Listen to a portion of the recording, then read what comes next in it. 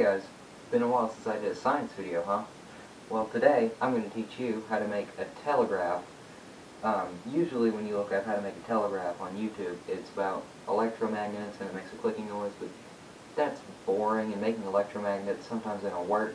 And I wanted to learn how to make one that would, you know, work good. So today I'm going to teach you how I made that one over there using no real, like, coiling or anything like that. You just buy some wires, some batteries, LEDs or whatever, and stick it on there. So yeah, let's get straight to it. Alright, so here is my telegraph. Uh, very basic, very simple. Um, got a little momentary switch with. I got like one with the big thing, so my thumb will get it. Yeah.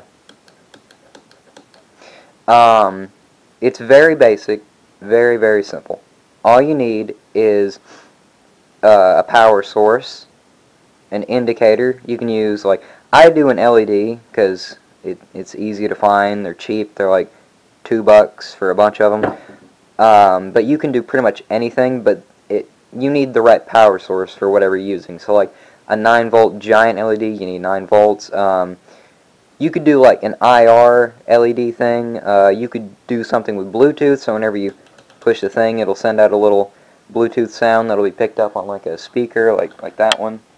Um, you could do uh, something like a piezo buzzer. So you do it, it'll go beep beep beep beep beep beep.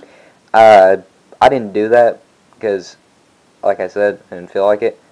But also, um, so I got all these parts, most of these parts, except these uh these little 5.5 millimeter cables. Um, I got those on Amazon, like a whole pack of them for really, really cheap. And they're really good because, like, if you want to extend the wire for, you know, whatever, how far your little telegraph line needs to go, you can just solder on and connect it together. Um, also, you need to know, you need to know how to solder to do this. Uh, it makes it a whole lot easier. Uh, I got this piece of wood. My friend uh, Bria gave it to me because it was a failed thing at the high school like because uh, she was doing something in high school shop and it didn't work out. So she just gave it to me and said, you can do whatever with it. Um, also, another thing that's weird, like as I said in the intro, the telegraphs that people make are all the same, just, you know, uh, tin can, piece of metal, you know, push the metal down, but that's not really reliable. Um, and also, like, that takes up a lot of space. This thing is, like, barely bigger than my hand. Um, so, pretty much all you need to do is take this and, you know, wire the switch up like how you would wire up a switch. Uh, shoot, what I do? And then connect that to, like, the outlet plug. So this outlet plug, whenever you, uh, hold let me get my, uh, thing real quick.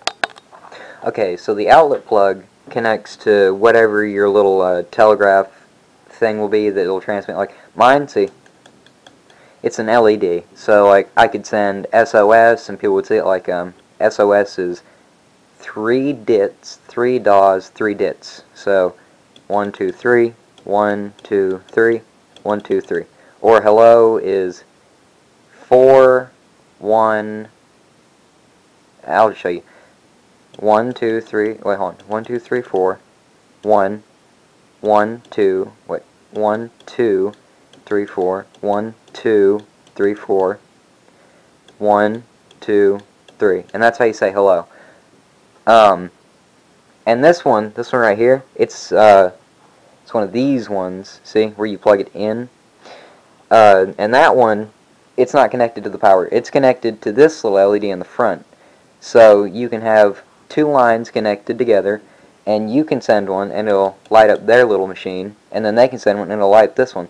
Now I have a way to demonstrate that because I have, I made this really long wire. Um, also, that wire over there, it's like uh, 50 feet.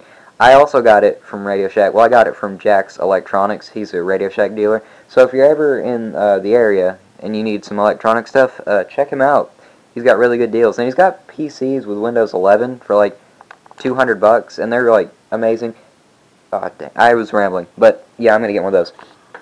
So as you can see, it's got this part and this part, and uh, I'll connect that up so you can see what it would uh, you can see what it would look like whenever someone was Oh, that's the wrong one. Whenever somebody was sending you a message. Put that there. Oh, wrong one. Put that there. So as you can see, they're connected.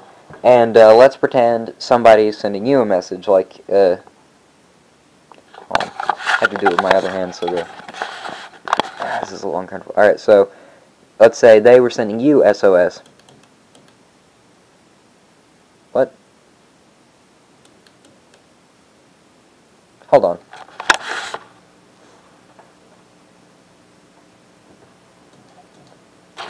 Oh, okay. So these these two wires were touching. Uh, that's another thing. You probably need to like insulate your connections. Uh, electric tape, epoxy, shrink tube, whatever you have that's insulating for wires. Put it over these so they don't touch. Because then you know. Uh, but see, whoops, wrong hand. Let's say somebody was like sending you SOS. It would look like this on your machine. Oh, whoops. Hold on, something's happening. I think one of my wires might be touching somewhere. Anyways, uh, yeah, but... Alright, so something's going on. It's uh, not too big deal. I can fix it. I think it's the LED. I think...